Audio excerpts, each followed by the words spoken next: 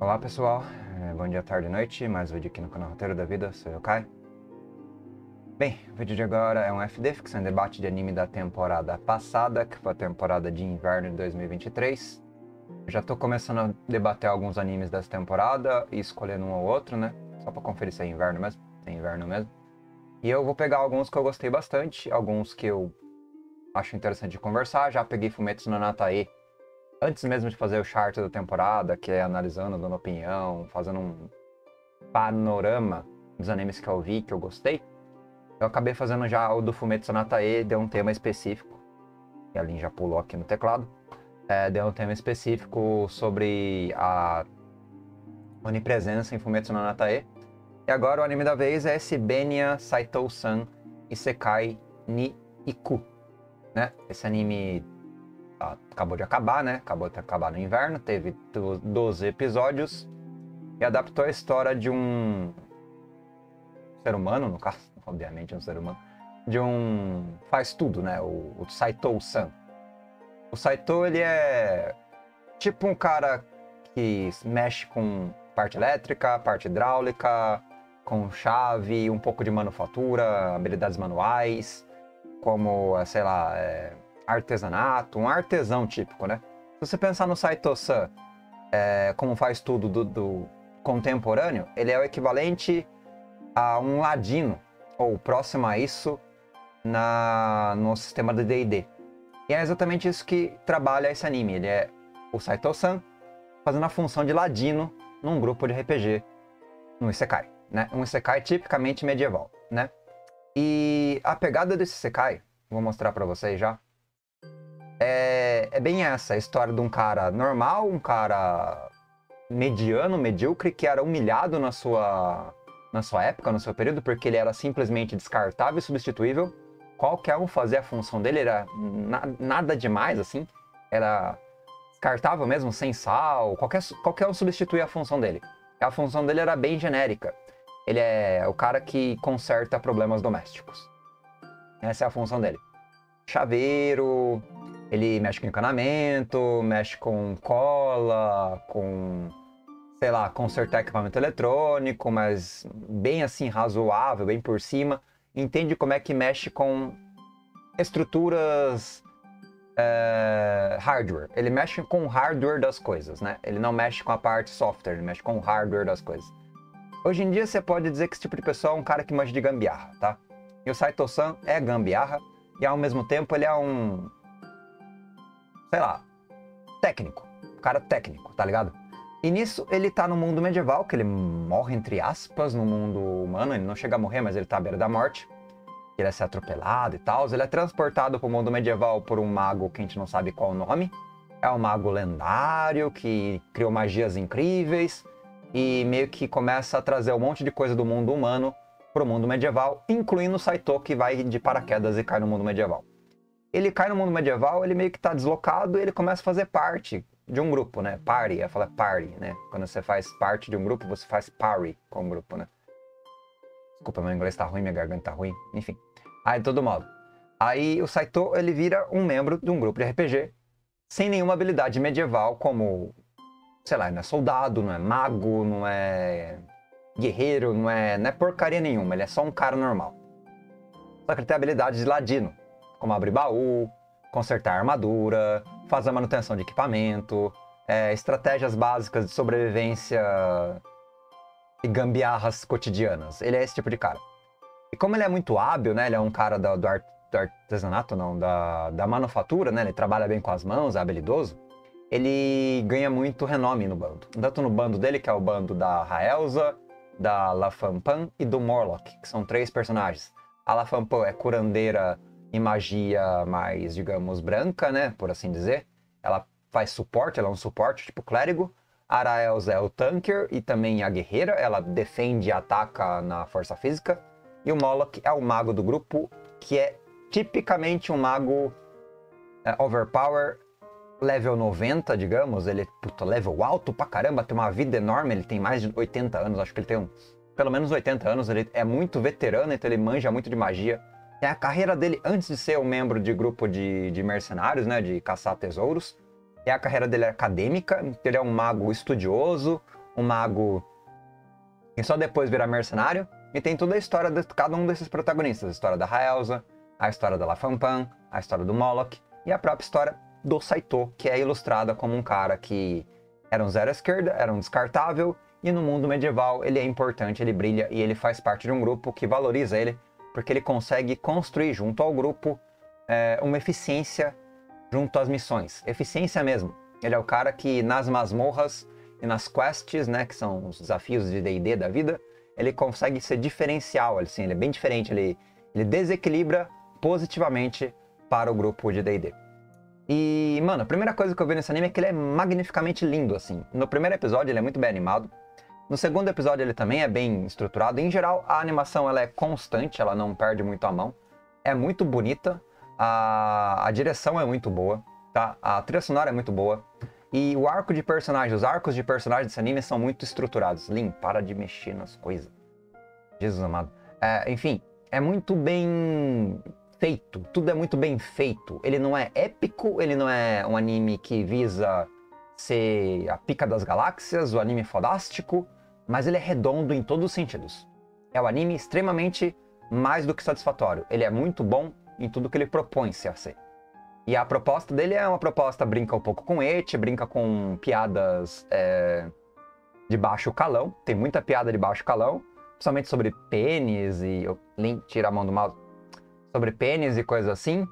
É, do Mola, que ser o cara que é muito bem dotado, do Saito também, de ser o par romântico é, sugerido pra Raelza, e ela toda menininha assim, é, será que o dele é grande demais e tal. Tem umas piadas de baixo calão, assim, no anime, que é bem divertido. Tem é, um humor muito bom, em geral. É, umas sacadas ótimas com o mundo do D&D. A La Fanpan, ela é uma fada da lua e ela tem uma maldição. E é bem legal em D&D porque em D&D tem muitos é, defeitos. O personagem ele não tem só qualidades, ele tem defeitos.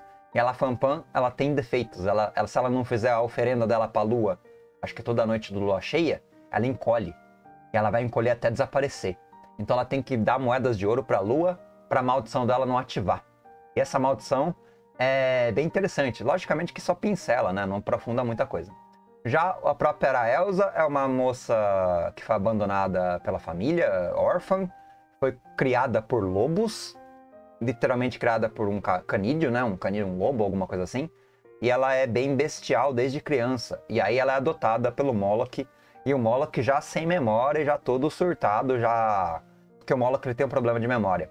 E o problema de memória do Moloch não é biológico, não é senil, né? ele não, é, não tem demência, senilidade, é, alguma doença mental, é psicológico, tá? E é também a maldição dele, porque a história do Moloch, ele é o cara que abandonou a filha, porque ele queria estudar a magia, ele menosprezou, ele negligenciou a família, e nessa a mulher dele e a própria filha, a mulher dele não sei se morreu, mas a filha dele morreu de doença, uma doença extremamente curável. Só como ele demorou demais e a mulher dele não tinha dinheiro, quando ele voltou para casa das pesquisas acadêmicas dele, tira a mão limpa, é, ele não podia mais ressuscitar a filha, porque tem ressurreição aqui nesse cenário. Você vai para o templo clérigo, e o templo clérigo, depois de, sei lá, uns dois, três dias depois de morto, ainda dá para ressuscitar. Só que daí demorou muito, e a filha dele tinha sido enterrada, e já não podia mais ressuscitar. Esse trauma da vida dele destrói com ele. Porque ele era um bosta. O Moloch era um personagem bem tosco, sabe? Bem escrotão, bem arrogante, bem é, insensível. E daí arrebenta com o cara. E aí ele começa a buscar a magia sagrada do tempo para conseguir voltar no tempo, alguma coisa assim, e reviver a filha. Só que nessa busca pela magia sagrada, ele encontra um mago lendário e esse mago lendário buga ele. Ele dá a magia do tempo para ele, mas ao mesmo tempo que ele dá a magia do tempo para ele, a magia parcial, ele fica todo senil, ele ganha senilidade. E aí um mago com senilidade, que não lembra as magias e recitar as magias, é um mago nível 80 que não consegue recitar magia, ele é quase inútil. E o Saito, ele é o cara que decora as magias e fala as magias no ouvido do, do Moloch. Pro Moloch lembrar as magias, restar as magias e conjurar as magias. Isso é uma dinâmica incrível do grupo. Então o grupo em, em Benia, Benria Saito-san, né, que é esse grupo de D&D, é extremamente funcional, cara. Assim, é, as missões, as quests, o esquema do Saito descobrir a, a passagem secreta dentro de uma dungeon e expandir a dungeon para inúmeras outras mistérios, inúmeras outras abrangências, ele aprofunda completamente uma dungeon que já estava completamente falida, né? Era uma dungeon completamente explorada, ele consegue descobrir uma passagem nova, ele faz todos os heróis, né, do mundo irem para essa dungeon para explorar as riquezas da dungeon. E, meu, cada personagem é muito carismático, cada arco de personagem é muito bem feito. O anime é segmentado em momentos, né, histórias paralelas de vários protagonistas. Tem a apresentação de vários é, suportes que vão tendo histórias é, sucintas, como a Lilisa, como a Ninia, a Elfa, que é a Fanliu, o próprio Gibung, que o Gibung é um anão mago, discípulo do próprio do próprio Moloch, Morlock. E tem a Lavela. A Lavela tem um ninja, um ninja sombrio, que tem um arco inteiro dele, que ele invoca os demônios e faz amizade com os demônios. Ele ganha dos demônios e faz amizade com os demônios. A própria Lavela é uma bruxa amaldiçoada que não pode se apaixonar, porque se caso ela se apaixonar, ela quebra a, a imortalidade dela. Que a maldição dela é ser imortal enquanto não se apaixona. Depois que ela se apaixona, ela morre. E aí ela se apaixona pelo ninja, e aí o ninja quer salvar a vida dela. E o ninja invoca um grande demônio na pra, pra conseguir. Eu não lembro ao certo como é que é a saga. E tem a própria fada das asas negras que segue o ninja, que é a sidekick dele. Tem personagens de suporte como o, o, grupo de heróis. O grupo de heróis tem um mago clérigo, mago clérigo e mago ao mesmo tempo, né? Faz as duas magias. Não, na verdade ele é mago, mago de ataque. Tem a maga clériga que dá suporte, tem o herói guerreiro que é o tanker, né? Que é é típico grupo de D&D de baixo... De baixa... Não de baixa qualidade, mas de poucos membros, né? Porque só três ou quatro membros no grupo no máximo. E normalmente é dois ou três mesmo. E tem os heróis lendários no cenário, como o monge da, da grande... Que é muito engraçado, que ele usa um grande porrete. E esse porrete é gigantesco. Ele é tipo... Parece mago, mas ele não é mago. Ele é... Eu não sei nem a classe dele de guerreiro. Mas esse porrete é gigantesco e vive impedindo ele de fazer tudo no anime. Ele é impedido de de explorar as dungeons, ele é impedido de, de participar com a galera ativamente, ele fica bem assim, como uma ilustração de um personagem estereotipado, mega divertido, mega engraçado, como uma lenda ambulante cavagando o anime inteiro. E aí tem as tretas entre personagens como a Elfa e a própria Elsa. A Elfa, em vez de ser uma Elfa maga, é uma Elfa, eu diria que ela é, é tanker também, né? Ela é a guerreira, ela ataca, né? E tem personagens. Tem Bardo também. O Bardo é o, o sidekick da, da Caçadora de Monstros. E a Caçadora de Monstros é especialista em matar monstros. Eu não lembro qual é tipo de monstro, mas é especialista em matar monstros. E por sua vez, o Saito é só o grande ladino da, do grupo, né? E que vai interagindo com a galera. Essa aqui é a Caçadora de Monstros com o anão do lado. É... E, meu, é muito bom isso aqui. É um anime bem animado, os arcos de cada personagem secundário têm histórias consolidadas, eles vão apresentando cada personagem. É, são personagens muito hilários e críveis e interessantes. Ele vai pro humor, né? Ele não vai pro lado sério nem nada. Mas são personagens muito bem construídos do lado bem-humorado. Tem história, tem densidade. Eles misturam os arcos de personagens secundários com arcos de personagem primário, fazendo uma interação muito bem construída também. Eles conseguem dar é, uma espécie de construção para os arcos do presente, para os arcos de resolução do passado dos personagens, como da, da Araelza. A Araelza ela tem uma finalização de arco e ao mesmo tempo ela tem um arco romântico com o Saito. O Moloch ele tem uma... Eles não finalizam o arco dele completamente, porque o anime vai ter continuação, provavelmente, eu acho, não sei. Ele é baseado em um... Uma novel? Em um mangá. mangá. Então tem um mangá que adapta, que adapta nessa história, né? Adaptado de um mangá. Esse mangá, por sua vez, ele não tem, ele está sendo publicado ainda, então a história está em continuação. Ele é publicado desde 2018 e está em andamento, aparentemente. E daí tem todo o esquema que o anime não vai adaptar, porque é a história nova do mangá, não sei até onde ele foi no mangá, mas que é a história do Moloch que fica em aberto, a história do Saito que fica em aberto, o relacionamento da Raelza com ele que fica em aberto, a própria La que tem bastante coisa para mexer também na história dela. E de todo modo, eu simplesmente achei esse anime fantástico, em todos os sentidos com o melhor, o melhor comédia da temporada, um dos melhores animes de D&D que eu já vi, é, no sentido humorístico também, né? Mas no sentido de herói, magia e competência. É, os vilões são bem interessantes. Tem arco de vilão, tem o arco do cachorro. O arco do cachorro é incrível. O arco do cachorro demoníaco.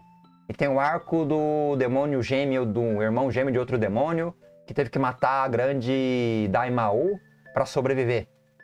que era a mãe deles, eles mataram a própria mãe. E o arco do demônio é bom também. O arco do demônio caído, que o rei vence ele, que é esse cara aqui que tá de costas, que é um demônio Daimao, que é humilhado e vira súdito do rei. E o rei é mega poderoso. E aqui tem o Templário também, o Templário não, o clérigo do rei. E, meu, assim, tirando o fato de que ele é meio inconstante nesse esquema de, de world building, né? O world building ele é meio bagunçado, não é tão sério. O ninja é muito bom, cara. As habilidades do ninja são muito boas. É, tirando que ele leva muito a sério, assim, o um cenário mais estruturado de magia, ele não é muito detalhado, sabe? Ele entra em alguns conflitos. Aqui é a filha do, do mago do Morlock, que dá mal dó dela. Muito brutal. Assim, a parte dramática é muito boa também.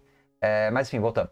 Então a parte de D&D e world building dele é meio largada, é meio, sei lá, não leva tão a sério. Apesar de ser boa, é muito boa e consistente, mas ao mesmo tempo ela não leva muito a sério a sua construção. E fica meio largado assim mesmo, tipo, você não sabe bem como funcionam as magias, você não sabe muito bem como funcionam os níveis. É, essa parte não é tão boa no anime, mas também não faz tanta diferença. Uh, e você não sabe como é que é treinamento, porque ele é uma pegada D&D descompromissada tá? Bem descompromissada mesmo. E aí tem os vilões. E o Moloch, o Moloch quando ele pega as magias dele, a magia de mortalidade dele, ele o arco final de luta de mago do Morlock é fantástico. As batalhas de magia desse anime são incríveis. E as batalhas em grupo também, porque tem a Araelza, tem o próprio Saito lutando, tem a própria Lafampan, tem personagem de suporte como o anão mago também, que funciona muito bem de suporte. Meu, é muito bom as batalhas, cara. A batalha contra o chefão que o, que o ninja invoca é ótima. O que o Moloch faz naquela batalha é ótimo. Os heróis que ajudam na batalha também é muito bom. Esse anime aqui é, tipo, muito interessante, assim. Eu falei que ele não é memorável nem lendário, mas ao mesmo tempo ele é, dos animes medievais de D&D, um dos melhores que eu vi na vida. Em muito tempo, sabe? Lembra um pouco Tower of Uruk. Tower of Uruk é um anime muito bom, que não é Sekai. Deixa eu ver se eu pego aqui o nome dele. Tower, acho que é assim, eu não lembro o nome inteiro. Uruk. É, alguma coisa do gênero. É, esse aqui, Tower of Druaga. É esse aqui. Esse anime eu lembro quando eu vi, meu cara, é ótimo, é ótimo. E esse anime do, do Coisa Embora tem uma pegada menos dramática, Tower of Uruk é mais sério, tá? Ao mesmo tempo também é bem engraçado. É bem engraçado mesmo. Só que Tower of Druaga ou a Edges of Uruk. É um anime incrível, antigão, que eu vi, que eu amei. E esse anime me lembrou muito esse anime, porque eu realmente amei bastante o Beiria Saito-san. Foi um dos melhores animes, é um anime que eu gostei demais. O et dele é bem legal, o romance zoado é bem legal.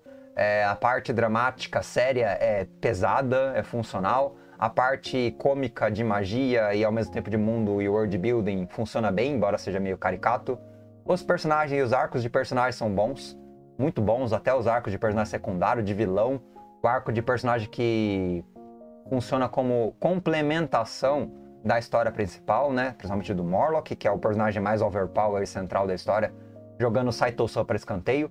Tudo fica meio concentrado em volta do mago, tá ligado? O Saito ele é suporte pra caramba, ele não é bem protagonista. O maior protagonista da história acaba sendo o mago, acaba sendo o Morlock. E aí gira muito em torno da, do arco dele, do arco das magias dele, do passado dele e das coisas que ele meio que gira em torno dele, tá ligado? E, meu, é muito bom. Recomendo mesmo esse anime. É um anime extremamente subestimado, porque poucas pessoas viram, as pessoas não levaram ele a sério, mas é um anime muito competente em todas, todas as coisas, todas as estruturas, as piadas, é, a ambientação, os poderes, embora não seja muito detalhado nem nada. E é bom, cara, é bom demais. Ele tem uma vibe shonen também nas batalhas, que é muito boa. Em geral, eu não sou, eu não quero ser tão fanboy assim, mas eu simplesmente achei esse anime fantástico, tá? É, eu acho ele não perfeito de modo algum, porque eu gosto mais de seinen, mas para a proposta que ele tem, ele é completamente redondo e entrega completamente tudo, tá? Então, um anime extremamente satisfatório, extremamente competente e bem, bem produzido, bem dirigido, bem compilado, é, é muito bom em todos os sentidos, tá? É isso que eu tenho para dizer. E, meu, recomendo mesmo, tá? E é hilário, cara. É muito divertido. É muito engraçado. Ao mesmo tempo que é muito interessante. E eu não sei que foto que eu uso pro chart. Depois eu pego uma foto com uma imagem para usar pro chart. Vou pensar no caso com mais, é, com mais parcimônia. Tem umas imagens bem legais do mangá. Mas é isso, pessoas. Deixa eu cortar aqui. Acho que já falei bastante. Tô morrendo de vontade de tossir, mas tô me prendendo aqui. Esse foi o primeiro anime da. Segundo, na verdade. Depois de Fumetsu no Natae, que eu recomendei, mas Fumetsu no Natae eu tive sentimentos é, contra... contrastantes. Benria Saito-san, eu não tenho sentimentos contrastantes. Eu amei o anime do começo ao fim. O primeiro episódio já me apaixonei completamente pelo anime. E até o fim, cara. Até o fim ele é acima da média ao extremo. Esse anime vale a pena como um dos melhores do ano. Já, mesmo ano tendo acabado de começar. Tá? Ele é muito bom mesmo. Muito, muito redondo. E critério, assim, você tem que ter critério para você analisar. Você não analisa anime de, de, de, sentimento. Você pega e vê a direção, pega e vê a trilha sonora, vê a animação, vê os arcos de personagem, vê a utilização dos personagens secundários, a utilização dos personagens primários, os vilões, os antagonistas, o world building, como o mundo se desenvolve e desdobra, a fantasia. E Saito-san, embora seja picotadinho em capítulos, né, porque ele é todo é, quebra-cabeça, ele vai se construindo como uma obra sólida. E depois ele para de ser quebra-cabeça e começa a contar uma, contar uma história mais fluida e mais corrida. E mesmo assim é muito bom. Então ele tem toda uma introdução e depois ele tem o arco de consolidação dessa introdução, onde todos os personagens começam a interagir. Tem uma coisinha aqui, uma coisinha ali que eu não gostei, o fim eu achei meio forçado algumas coisas, mas é muito bom também, tá? Então, mais ou menos isso. Então é isso, pessoas. Até o próximo anime da temporada passada, também de inverno, que eu vou fazer review. Eu já sei qual é. E, bom, depois eu faço para a próxima semana, né? Espero que vocês vejam esse anime mesmo. É um anime realmente muito. para todo o público. Ele tem um público-alvo muito amplo. Ele é bom para todas as faixas etárias, embora seja um pouco pervertido algumas coisas. E tem umas piadas dúbias de humor duvidoso, né? Mas ele é um, um anime bem família, assim, por assim dizer, tá? Mas é isso, galera. Valeu pela presença e quem viu isso aqui, até mais aí. Falou. Obrigado.